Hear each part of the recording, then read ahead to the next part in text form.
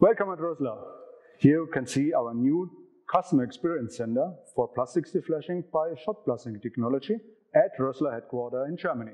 After having finished necessary revision works on buildings and machines, now this test lab is completely ready to use.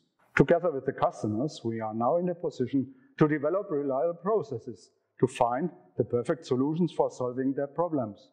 And this with moderate costs for them, according to our motto, finding a better way. Available are the most important machines for bulk ware processing like this here, loop belt machine type RSBS, or continuous processing on a wire mesh belt machine type RSAB, or a single part orientated processing on satellites, here on machine type RWS, and with a high diversity of usable blasting media.